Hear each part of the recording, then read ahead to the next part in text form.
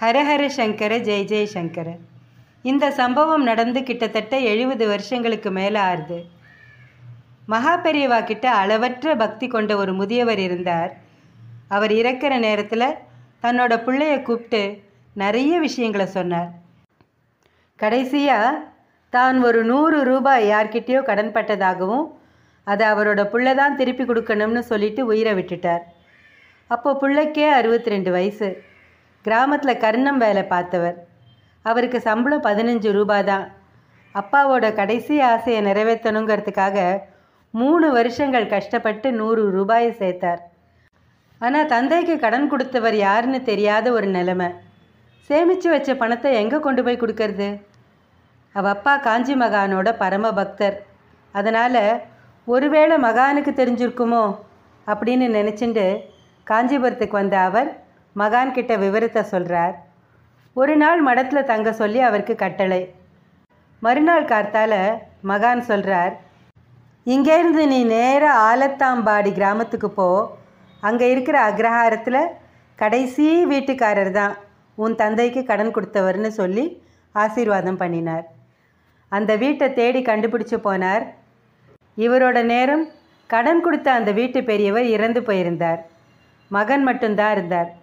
அவர்கிட்ட போய் விஷயத்த சொன்னதும் அவருக்கே வியப்பு. எங்கள் அப்பாவும் இறக்கிற நேரத்தில் எனக்கு நிறைய விஷயங்களை சொல்லிட்டு தான் போயிருக்கார். ஆனால் இந்த கடன் கொடுத்த விவரத்தை பற்றி அவர் சொல்லவே இல்லை. அப்படின்னு சொல்லி இவர் கொடுத்த பணத்தை அவர் வாங்க மாட்டேன்னு சொல்லிட்டார். பணத்தை கொண்டு வந்தவருக்கோ ஏமாற்றம்.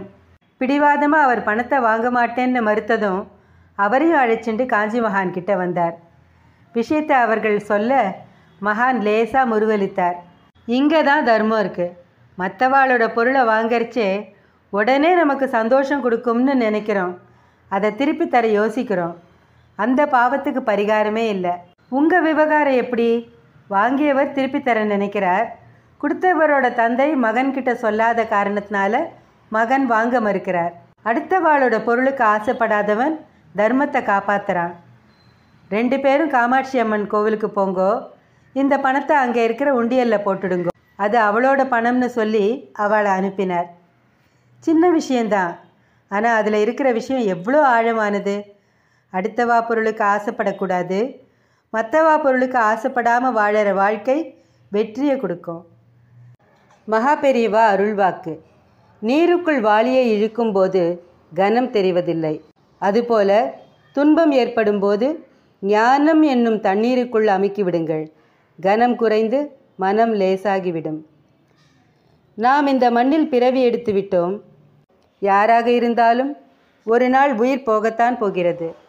வாழும் காலத்திற்குள் நம் பாவத்தை போக்கிக் கொள்ள முயற்சிப்போம். பாவத்தை போக்குவதற்கு எங்கும் அலைய தேவையில்லை. இருந்த இடத்திலேயே கடவுளின் பெயரை சொன்னால் போதும். இரண்டு எழுத்துதான். சிவ சிவ என்பதை எப்போதும் சொல்லுங்கள். அன்னதானத்தால் மட்டுமே ஒருவரை முழுமையாக திருப்திப்படுத்த முடியும். மற்றவையெல்லாம் எவ்வளவு கிடைத்தாலும் மனம் திருப்தி அடைவதில்லை. துன்பத்தை பிறரிடம் சொல்லாமல் கடவுளிடம் முறையிட்டால் நிம்மதி கிடைக்கும்.